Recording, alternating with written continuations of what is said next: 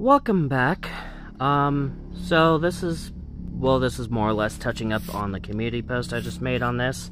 Um, so Elon Musk is out here trying to get people killed doing this, trying to limit on automated uh, on automated tweets. Um, so in the near future, I might not be able to cover tornadoes and stuff like that the way I normally do.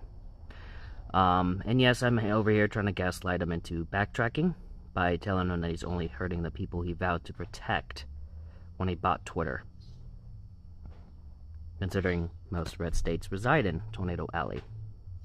And Hurricane Belt as well. Um, so, there's that. But, yeah. Um, but the change I'm going with for the future is I'm just going to probably end up going live more often with these severe weather events. Um, when I'm at home and stuff, um, I'll probably be at home more often. So expect more live streams. Um,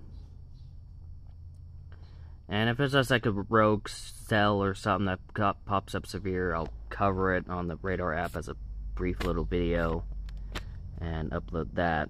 Um, but outside of that, major events, I'll definitely go live. Um, so, with that, that does seem to be it for right now. Stay safe out there. See you in the next video. Bye.